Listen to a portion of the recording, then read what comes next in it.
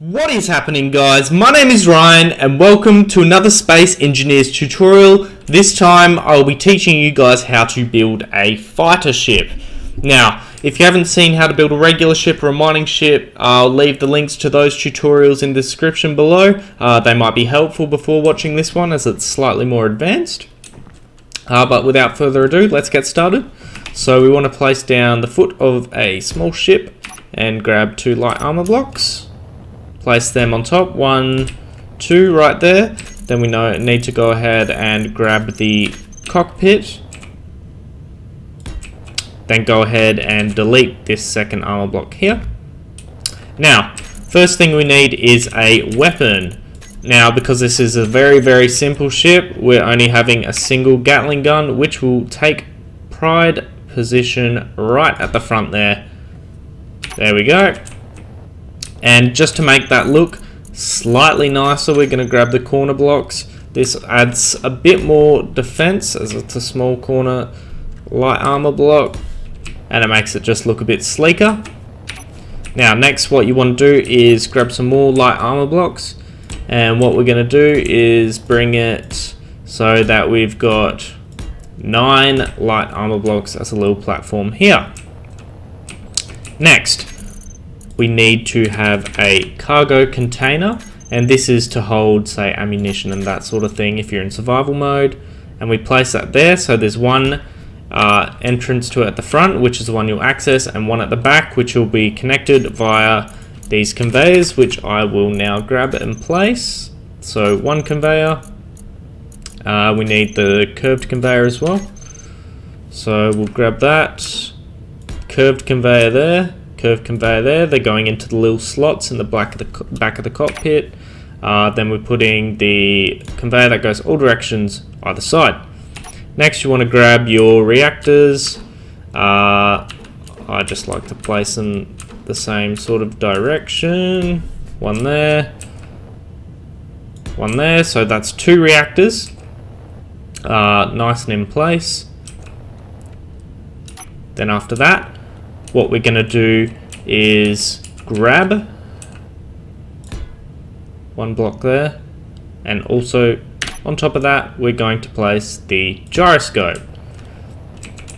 This is so that there's a gap between uh, the gyroscope and the cargo container so you can easily access it still. Next onto thrusters. Now, now normally I place thrusters here but we want it to be protected because it's a fighter ship so we want them inwards as far as possible and these will be covered by armored plating. So forward back. Then we want left. Right. I just realized my error. Sorry these two. I deleted just the two light armor blocks there. Thrusters actually need to go there this is so they're on the inside of the ship. Now I'm using that as a platform for the gyroscope and obviously we've got a gap so one two thrusters at the bottom. So we've got forward, we've got backwards, we've got left, we've got right and we've got up but now we also need down. Now the last location for those is right here on the back. Now before I put all the armored plating and stuff on you can see that this is a very, very compact ship, very, very hard to shoot at, and essentially that's the idea, that it's very slim and sleek uh, and compact, and that means you're less of a target when engaging in firefights. So now we're going to grab the different versions of light armor blocks, and we're going to start covering the ship up. So we'll start with the top, we'll go one, two, three, one, two, three. Now we want to leave a gap here. Uh, put one of those either side. And the reason we're doing that is to grab one of these curved shaped ones, place it there, and as you can see, I've created a little slope to gain access. And as you can see, even though there's a block there, I can still get into it. But I do have to, in fact, cover these up as well. I'm sorry, they're the wrong direction.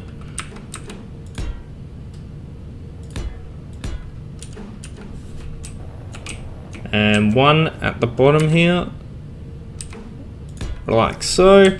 And as you can see, that makes it into a nice little point, covering uh, these as much as possible, and they'll be barely poking out once the design is finished grab the normal square blocks. And either side we want to go one two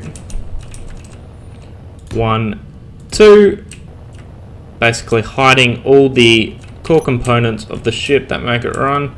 And then we're gonna layer it even more. Makes it, this not only makes it look nice it also protects it even more so as there's uh, layer upon layer of various armored plating for the ship.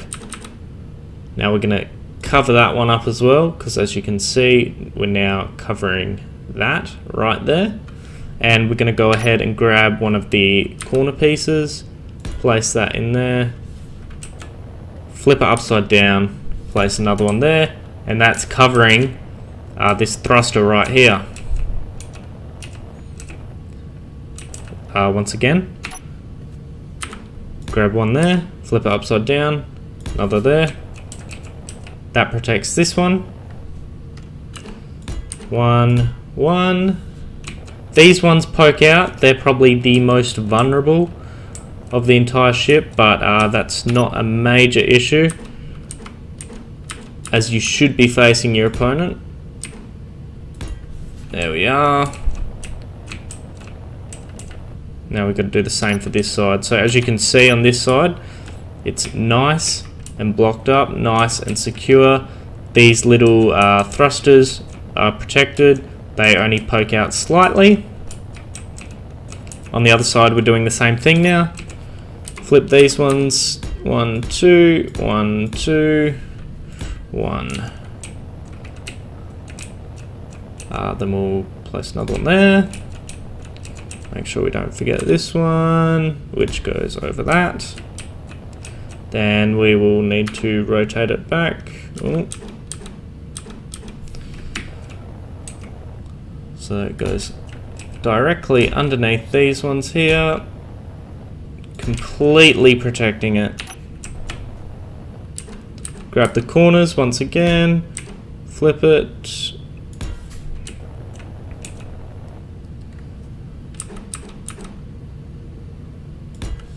Put another one there. I don't think I did that one on the other side.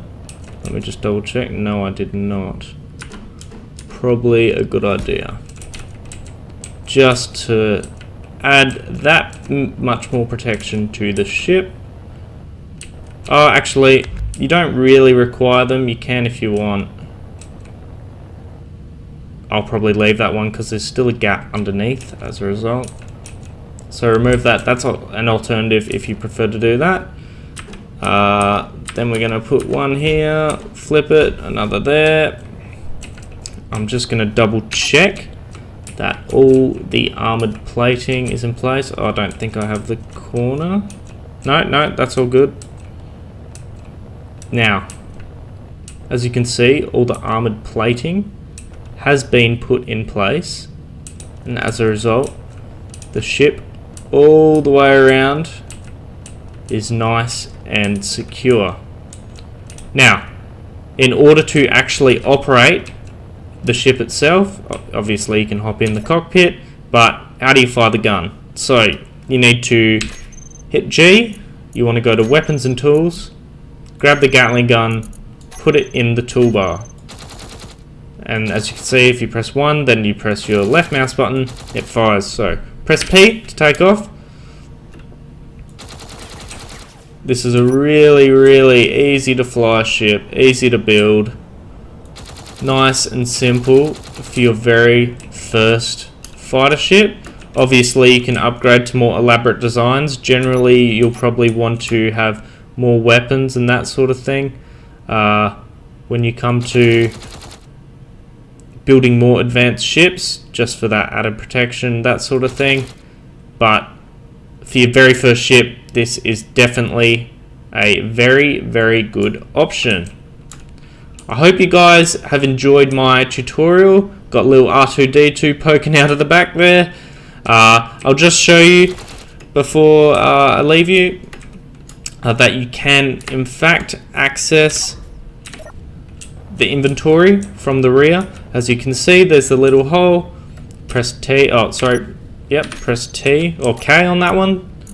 Uh, as you can see, you access the small cargo container, which is connected uh, to the cockpit, which is connected to the Gatling gun. Obviously, you got your small reactors either side, so you can put in um, uranium in order to make it run. So I hope you guys enjoyed the video. If you did, please remember to leave it a like, as it helps me out a lot. Uh, leave any comments or suggestions down below if there's any other tutorials you'd like to see. Uh, I hope you guys have an awesome day, and I will see you next time.